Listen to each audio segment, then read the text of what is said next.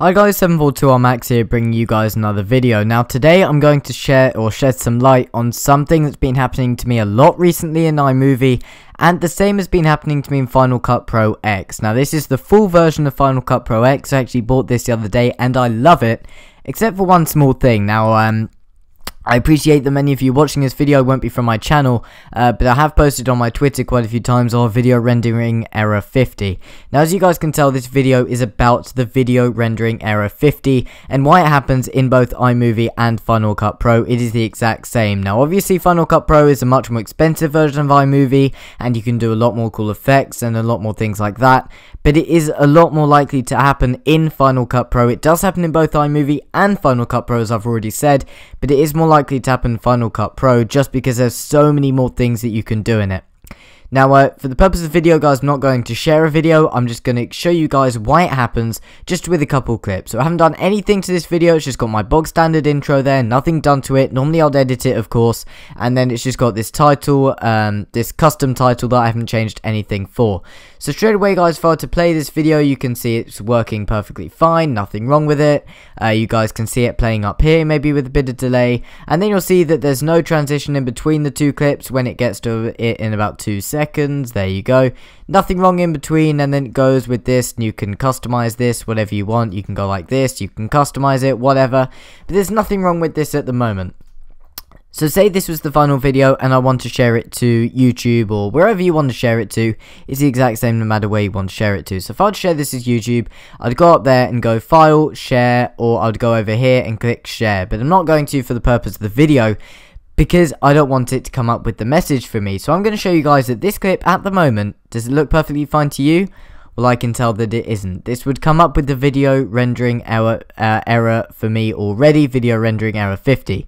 Now, you guys will be very frustrated because you might have been uploading a video for the past hour or two hours or even five seconds, depending on what your internet speed is and how long your video is.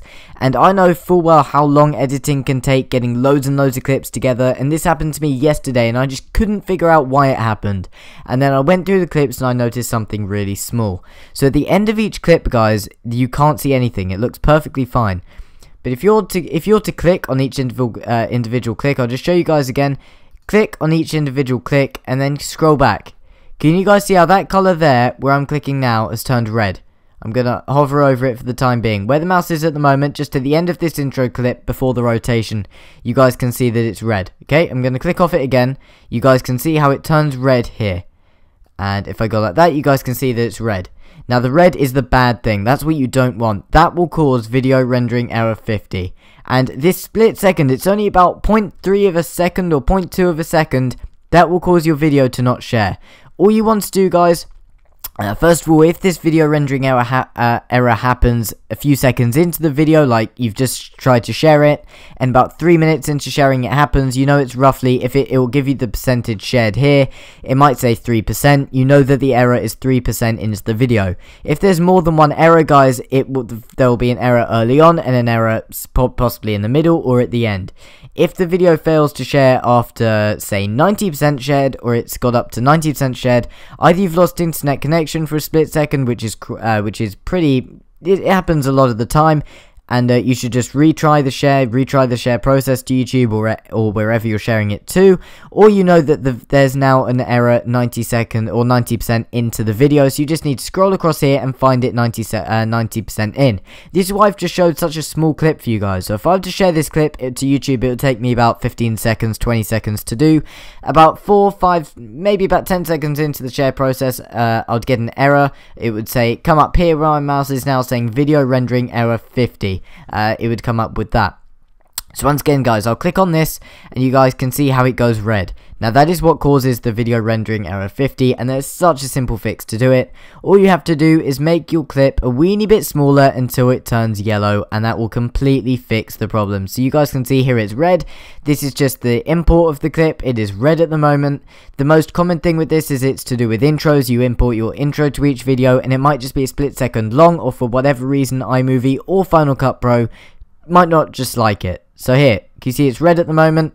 I'll just scroll it a weeny bit back into its yellow. The pretty much the exact same length, just cuts off a split second of the video, and that will now share. If I was to move it a weeny bit more to the right, it works, but then as soon as it goes red, hope you guys can see that, as soon as it goes red, I'll hover this over to where it is at about here.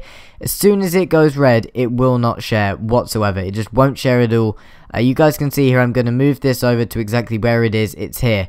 Hopefully you guys can see it. If you can't, I do apologize, but this is red here. So that would not share at the moment. So all you have to do is just drag this, uh, wrong one, you click on the clip that it's affecting, and then you drag it just into its yellow, just like that, and that will completely fix your problem. So ignore any other videos you've seen about uh, copy and pasting your movie in iMovie or copy and pasting your project in Final Cut Pro uh, into a new one, uh, into a new project, and then trying sharing that. That doesn't actually work, or it at least has never worked for me. Don't actually know what it's doing here. I hope it's not sharing, but uh, whatever it uh, whatever it's doing, I've I'll cancel that, whatever. Um, but anyway, I hope you guys enjoyed this little tip. Really, really simple, but it can affect so many people, and you can have edited a video for four or five hours, and then it just won't show, and you can get really annoyed. But that's what the error was, guys. It can be red here, and you just want to make it yellow. So I hope you guys enjoyed the video.